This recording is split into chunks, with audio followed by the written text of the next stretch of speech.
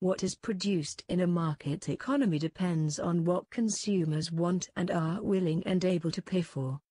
There is no government interference to allocate resources to industry or persons.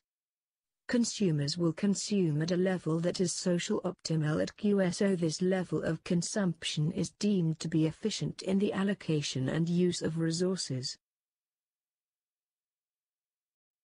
Firms move scarce resources toward making what people are willing and able to pay for. In a market economic system, all firms aim to make a profit and they do this by allocating scarce resources away from producing things people buy less of into the production of goods and services people are increasingly willing to pay for. For example moving away from TV, which makes less profit, to making cell phones, which makes more profits, as price for cell phones are increasing. The main points of free markets. 1. All resource owned privately. No government interference. 2. Choices are made by individuals.